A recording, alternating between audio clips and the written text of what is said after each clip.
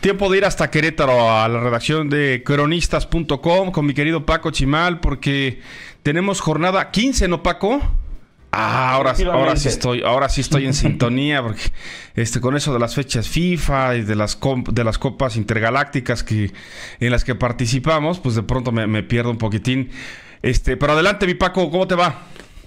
¿Qué tal, Roberto? Un gusto saludar a toda la gente que amablemente nos sigue a través de Claro Directo.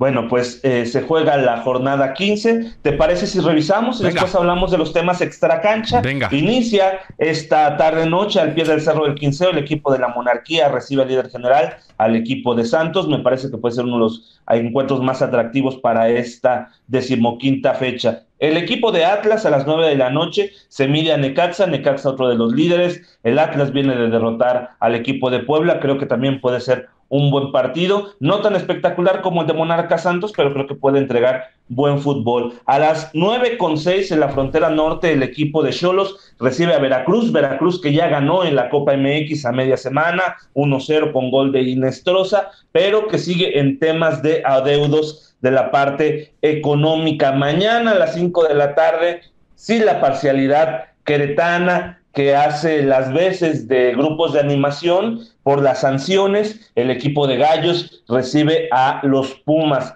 dos equipos que también han tenido sus altibajos, pero en estos momentos el equipo de Querétaro se encuentra en zona de calificación y en caso de sacar los tres puntos podría estar virtualmente en zona de liguilla. El equipo de América recibe a la Franja del Puebla a las 7 eh, de la noche, esto para mañana sábado. A la misma hora el equipo de León se mide Atlético San Luis. A las nueve con seis el equipo de Tigres recibe a la máquina celeste de la Cruz Azul. Para el día domingo Toluca recibe al equipo de Pachuca y finalmente en el cerrojazo de la jornada Bravos de Juárez se mide por primera vez en el máximo circuito allá en la frontera al equipo del Chiverío. Roberto, esta es la actividad para la jornada 15. Hablábamos de las sanciones, bueno, pues ya hubo sanciones tanto para San Luis como para el equipo de Querétaro.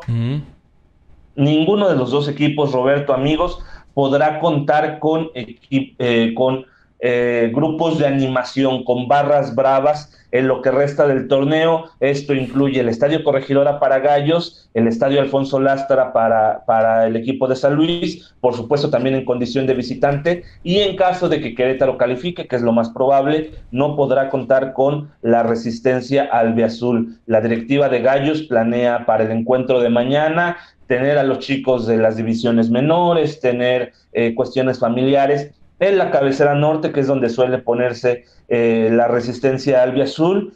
Y bueno, hoy platicábamos con gente de, de, estos grupos de animación, Roberto, ellos se niegan a credencializarse, no quieren acatar las medidas que proponen algunas, algunas personas, algunas voces en la Liga MX, el equipo de San Luis, por su parte, eh, tiene vetado dos partidos, así es que ni contra América ni contra Necaxa podrá tener aficionados. Los partidos serán a puertas cerradas y los dos equipos han recibido también una sanción económica, Roberto.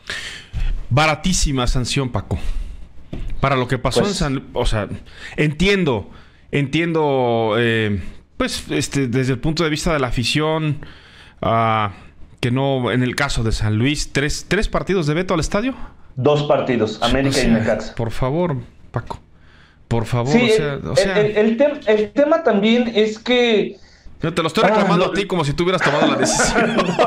no, no, mira, te, cuento lo que pasa con los, con los aficionados de, de a pie y con algunos miembros de barras. Los aficionados de a pie reconocen que no son todos, que se equivocan y que por unos cuantos la llevan eh, la generalidad. Mm. Los grupos de animación dicen que ellos no se van a credencializar porque no pertenecen a ninguna asociación, porque no pertenecen a ningún club y que al final de cuentas, si quieren identificarlos, para eso tienen los llamados bonos. Porque no tienen prestaciones, ¿no? Este, aguinaldos y reparto utilidades. Yo, este, yo eso no, eso de verdad que no lo entiendo, me parece que es la forma eh, más clara, más rápida, más pronta para evitar este tipo de situaciones ellos no quieren. Vamos a ver, porque también, eh, pues esto se tiene que legislar, Roberto, y pues tiene que haber consecuencias.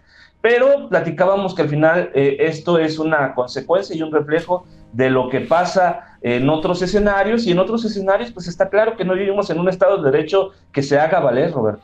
Pues este entre eh, eh, navegando no Paco entre la entre los derechos constitucionales entre válidos están establecidos entre los derechos a la manifestación válidos también establecidos pero también en, en la obligación que tiene el estado de hacer valer este y el estado me refiero a todos los niveles de gobierno o sea el estado son todos los niveles de gobierno el federal el estatal el municipal y por tanto son los cuerpos de seguridad y por tanto son pues todos estos eventos en los que está involucrado pues la seguridad, ¿no? La protección civil, en fin, tantas cosas que eh, requieren pues de que se hagan valer las leyes que, que, ahí están establecidas, Paco, y no pasa absolutamente nada, ¿no? O sea, nadie hace nada, nadie quiere levantar la mano, nadie quiere quedar mal, nadie quiere perder popularidad, nadie quiere ser cuestionado ni criticado.